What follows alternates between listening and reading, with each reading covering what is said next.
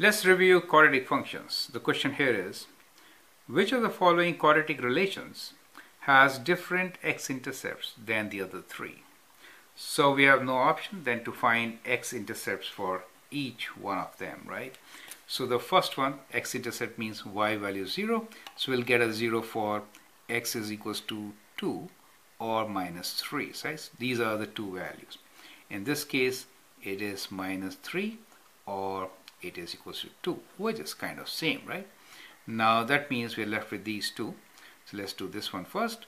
We are looking for product of or another way is just check with 2 and 3 if you write 2 here do you get a 0 or not? If you write minus 3 here do you get a 0 or not? That's another way of checking now okay? Well let's factor it. So if you factor it we are looking for two numbers whose product is let's say p times q is minus 6 and when you add them you get minus 1. So the numbers could be, of course, 3 and 2. And since you want negative when adding, so it would be minus 3. And therefore, I can write this as x minus 3 times x plus 2, right? Now, in this case, what are the roots? Roots are plus 3 and minus 2, not these two. Do you see that? And therefore, this has a different solution, right? Now the only difference here and in this equation is that this is common factor of 3. So let me rewrite this.